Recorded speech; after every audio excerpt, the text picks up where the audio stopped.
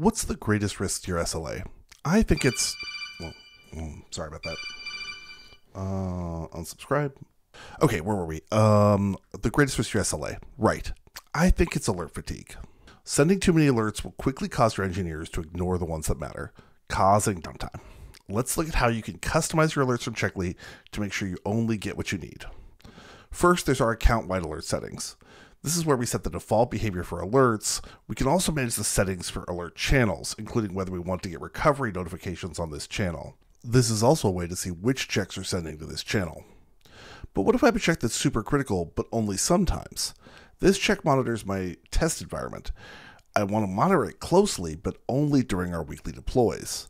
The best solution is to have the check set to a high frequency, but leave the test deactivated most of the time, which you can do at the top of the check settings. Deactivated tests show up with gray names, while muted tests show up with the gray icon. Okay, let's talk about the checks that are business critical. For my e commerce business, if any of these four checks are failing, we're losing money. So I want special alert settings for all these checks. That's why we're using a group.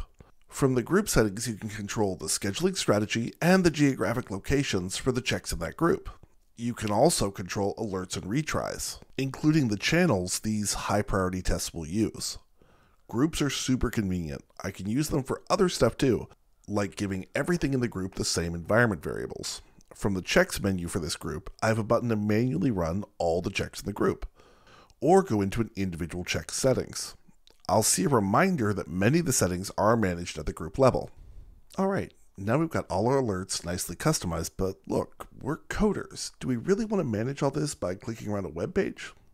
Let's use monitoring as code to manage our checks and their settings from our IDE. Here we have all the code for this check and all of its settings in a separate file. Our group settings can also be managed here. Now, what if we set up a bunch of checks with custom settings in the web UI and we want to start managing things with monitoring as code?